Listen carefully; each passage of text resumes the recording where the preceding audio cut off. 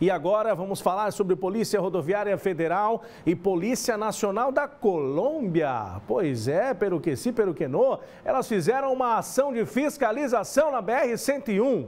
Mas por que, que os colombianos estão aqui, hein? Curiosidade, em la tela da tribuna del povo? Bota aí, vamos ver, vamos ver essa matéria. A ação faz parte do primeiro curso internacional de segurança viária, promovido pela Universidade Corporativa da PRF.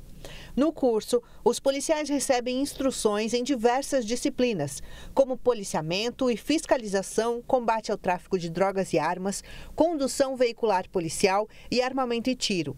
A fiscalização foi denominada Comando Escola e teve a participação de 50 agentes da Polícia Nacional da Colômbia.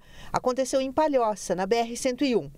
Durante essa operação, os colombianos tiveram a oportunidade de viver a realidade operacional no Brasil acompanhando abordagens e procedimentos de fiscalização de veículos, documentos e pessoas. Além disso, o intercâmbio de conhecimentos e experiências entre as duas polícias garante maior especialização e preparo do efetivo na garantia da segurança pública. É o que a gente fala, nossa Polícia Rodoviária Federal é uma referência, viu? A gente ouve falar muito, ah, a SWAT lá nos Estados Unidos, ah, a polícia dos Estados Unidos, mas a nossa Polícia Rodoviária Federal é referência. Vem gente do mundo todo ver de perto esse trabalho sendo realizado. Dessa vez foram aí os colombianos.